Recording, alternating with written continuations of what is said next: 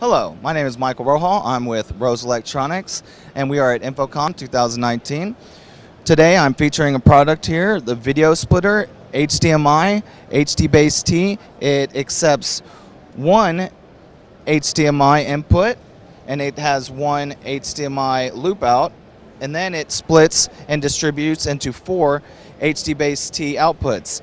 These are 4K 60 over CATx up to 230 feet, 1080p up to 330 feet. The the those link to receivers on the display end, which convert back out to HDMI. They extend HDMI, IR, and RS232 serial. For more information on this product, please go to our website, rose.com.